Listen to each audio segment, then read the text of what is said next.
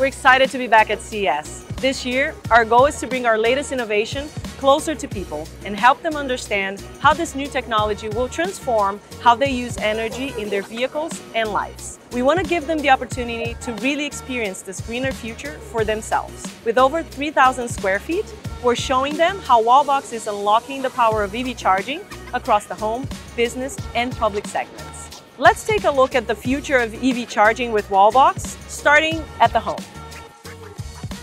These are the Pulsar Plus models for the North America market, 40 and 48 amp. With up to 11.5 kilowatts of power, the Pulsar Plus is one of the most powerful home chargers on the market today.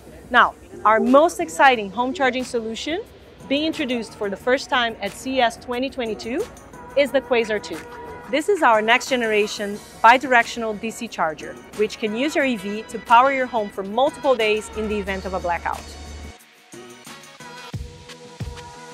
This is the Commander 2, our premium business charger, ideal for multi-user management.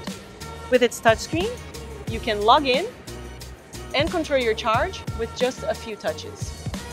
Also, for the first time, we're unveiling Copper 2, our newest commercial charger. This is a robust and reliable product that delivers on all the main needs for semi-public charging, from installation to use.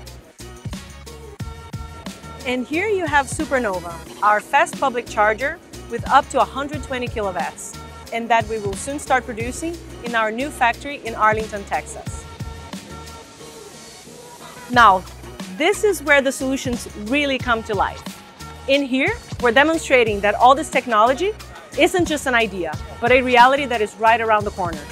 If you want to check out this immersive experience at home, click the link and enjoy it on your phone or on your VR goggles.